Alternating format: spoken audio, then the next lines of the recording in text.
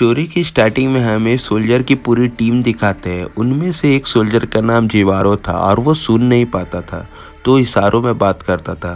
फिर हमें एक रिवर दिखाते हैं और अपना हीरो जीवारो, वही होता है, एक पेड़ पे अपना घोड़ा बाँध रहा था। तो घोड़ा बाँध के वो जाता है रिवर के पास पानी पीने, जहाँ उसे पानी में सोना मिलता है, जो वो अपने पास रख लेता है। और तभी हमें दिखाया जाता है एक जादूगरनी को, जिसका नाम मूवी पे सायरन है। और वो पानी के ऊपर रह सकती है बिना पानी में डूबे। और वो पूरे सोने और हीरो से बनी हुई थी। उसका हर एक अंग अंग में बेसकीमती सोने और हीरो थे। और जब सब अपने गॉड को याद कर रहे थे तभी सायरन जादूगरनी पानी से बाहर आती है और अजीब तरीका से डांस करने लगती है। और वो जब चिल्लाना शुरू करती है, सभी सोल्जर उसके बस में हो जाते हैं और सभी के अंदर वो जादूगरनी को पाने की चाहत आ जाती है। और इसके बाद सायरन जादूगरनी अजीब तरीका से डांस करने लग जाती है और उसके आवाज़ सुन के सभी बहुत ही ज़्यादा अग्रेसिव हो गए थे। और कुछ सोल्जर तभी मर जाते हैं, लेकिन जो सोल्जर बचे हुए थे, इन सभी के अंदर सायरन जादूगरनी का अट्रैक्शन आ गया था। तो सभी एक दूसरे को मारते हुए सायरन जादूगरनी के पास जाने लगते हैं और इसी के साथ वो पानी के पीछे जाने लगती है। और तभी जिबारो इनकी हरकत को देखकर उसे कुछ समझ नहीं आता है पहले, और वो बहुत ही ज़्यादा डर जाता है। और तभी सारे सोल्जर पानी में डूब के मर जाते हैं, कोई ज़िंदा नहीं बचता। और तभी जीवारो के नज़र सायरन जादूगरनी के ऊपर जाता है। जीवारो उसे देख के डर जाता है। उसे कुछ सुनाई नहीं देता तो सायरन जादूगरनी का जादू उसमें काम नहीं करता। ये देख के सायरन बिल्कुल परेशान हो जाती है। उसे लगता है जीवारो इन लोग से अलग है और वो डर के पानी के अंदर चली जाती है। और वहीं जीवारो काफ़ी डर गया था। उसे कोई बात समझ नहीं आई थी और तभी सायरन पानी के बाहर आती है। उसे देखने लग जाती है क्योंकि सायरन को जीवारो के अंदर अट्रैक्शन आ गया था। लेकिन जीवारो यहाँ से भागने लगता है क्योंकि अपने सारे दोस्तों को मरा हुआ देखकर वो डर जाता है और ना आगे देखता है, ना पीछे, बस भागते ही जाता है और एक पेड़ में टकरा के गिर जाता है और बेहोश हो जाता है। फिर थोड़े टाइम बाद उड़ जाता है, लेकिन जीवारो भागते हुए काफ़ी थक गया था। तो एक चादर लेता है और रिवर के पास आराम करने लगता है और वहीं कुछ समय के बाद रात हो जाती है और जीवारो वहीं लेट जाता है और तभी सायरन पानी के बाहर आती है, सोए हुए जीवारो के पास आती है। हम देखते हैं सायरन के अंदर जीवारो के पाने की गजब की चाहत आ गई थी और सायरन जीवारो के साथ ही सो जाती है, लेकिन जीवारो को इस बात की खबर नहीं रहती है और सुबह होती है जीवारो की आँख खुलती है। हम देखते हैं सायरन अभी भी उसके पास ही सोई हुई है।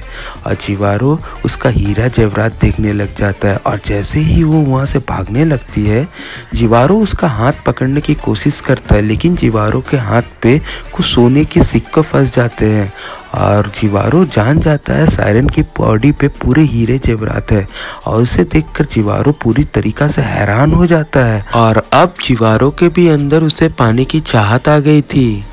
अजीवारो सायरन के पीछे करने लग जाती है। सायरन भाग के झरने के बीच आ जाती है। ये देख के जीवारो भी उस झरने के किनारे में आ जाता है और दोनों एक दूसरे को देखने लग जाते हैं। अब जीवारो अपना तरवान निकाल के नीचे रख देता है और सायरन के पास जाने लगता है। ये देख के सायरन समझती है, जीवारो को भी उससे प्यार करने लगा है। इस बात से सायरन डांस करने लग जाती है और जीवारो के पास आ जाती है। और जीवारो ऐसी एक्टिंग करता है कि उसे भी प्यार हो गया है, लेकिन हम देखते हैं उसे इस बात की कोई फ़र्क नहीं पड़ती। उसे तो बस सायरन की हीरो मोती से प्यार है। इसके बाद वो दोनों एक दूसरे को किस करने लगते हैं, लेकिन सायरन की होठों में भी हीरे लगे हुए थे। इसलिए जीवारो उसे किस नहीं कर पाता है, लेकिन सायरन खुद को रोक नहीं पाती जाती और ज़ोर ज़बरदस्ती किस करने लगती है। और वहीं जीवारों के होंठ बुरी तरीका से जख्मी होने लग गया था और खून आने लगा था। लेकिन फिर भी जीवारो उसे करने देता है और उसे किनारे में लाकर एक झटके में बेहोश कर देता है। और जीवारो अपनी इंटेंशन में कामयाब हो गया था। उसकी बॉडी से सारा हीरा जेवरात निकालने लगता है। इसके वजह से सायरन की बॉडी बुरी तरीका से जख्मी होने लगती है। और वो फिर सायरन की बॉडी को पानी में फेंक देता है। और फिर हम देख देखते हैं। सायरन की बॉडी का खून सारे जगह में फैलने लगा था।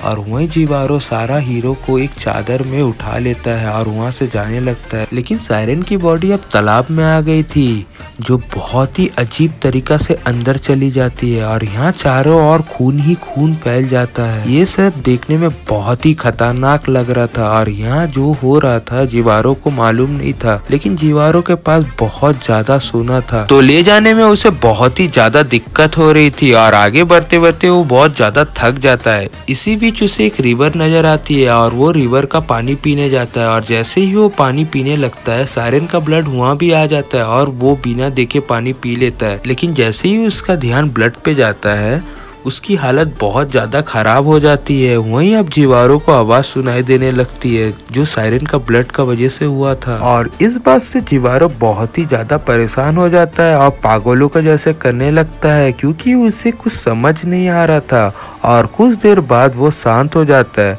और जैसे ही वो वहाँ से जाने लगता है, उसी टाइम सायरन पानी से बाहर आती है और जब सायरन की बॉडी से सारे सोने गायब नज़र आते हैं, बहुत तो बहुत ज़्यादा परेशान हो जाती है। सायरन बहुत ही सैड होती है, क्योंकि उसे समझ आ गया था जीवारों के अंदर उसके लिए प्यार तो था ही नहीं। वो तो बस उसके हीरो और सोने को चाहता था, और जीवारों का नज़र जब उसके ऊपर पड़ता है तो सायरन अजीब आवाज़ निकालना शुरू करती है, जिसके वजह से वो पागल होने लग, क्योंकि उसे अब आवाज़ सुनाई देना शुरू हो जाता है, और वही जीवारो खुद को रोक नहीं पाता है? और पानी के अंदर चले जाता है। क्योंकि जीवारों की मेंटल कंडीशन खराब हो जाती है और जीवारों कुछ कर भी नहीं पाता है, क्योंकि वो उसके आवाज़ के बस में आ गया था और सायरन उसे पानी के बीच में ले जाती है और एंडिंग में जीवारो भी पानी में डूब जाता है, जो अपने लालच के वजह से मारा जाता है। और सायरन अपनी हालत देखकर काफ़ी दुखी हो गई थी। और इसी के साथ ये एपिसोड खत्म हो जाती है। और आपको एक सीक्रेट बात बताते, ये चैनल सब्सक्राइब करना फ्री है। तो प्लीज़ सब्सक्राइब कीजिएगा। Thank you peace